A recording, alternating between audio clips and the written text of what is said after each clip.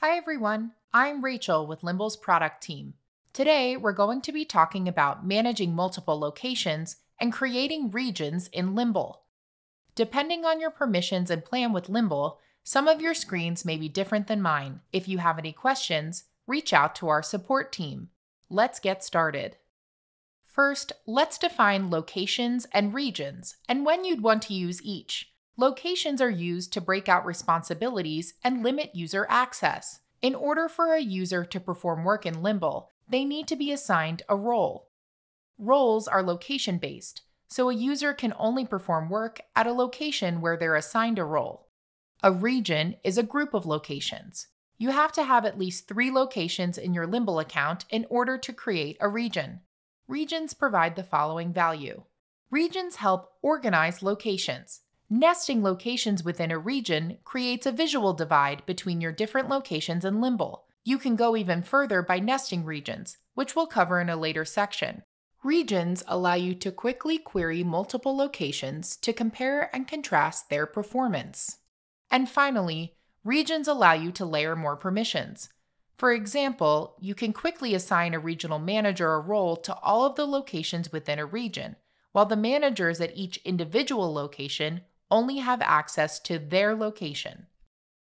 Now that you understand the benefits of regions, let's create one. Navigate to the Manage Locations page by clicking the Locations icon from the navigation menu. From the expanded menu, click Manage. From the Manage Locations page, select Regions. Then select Add a region. Name your region in the text field. In this example, we'll call this New York. Now that the region is created, we need to nest the locations. Hover to the left of a location until the four-way arrow icon appears. Drag and drop the location under the region. The order of your locations will appear within a region based on the order you drag and drop them. Repeat this process for all required locations. If you have locations that don't fit within a region, they'll be nested under No Region. When you expand the Locations menu, the No Region category will be at the same level as other regions. You can expand or collapse your options by using the caret icon. For quick access, you can search for your locations by using the search bar. Now that you know how to create regions, let's talk about nesting regions. Most Limble customers don't need this level of detail, but it is useful in some instances. Nesting regions within regions provides the same benefits that creating regions does, but on an even more granular scale. Make sure you've created all the regions that you plan to nest. In this example, I've created New York and New Jersey as regions. Now I need to create my topmost region. I'll call it Northeast.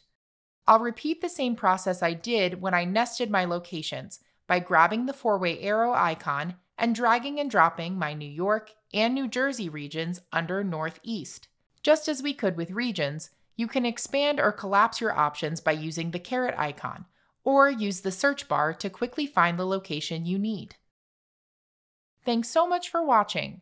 If you have additional questions, visit our Help Center or reach out to our support team to learn more.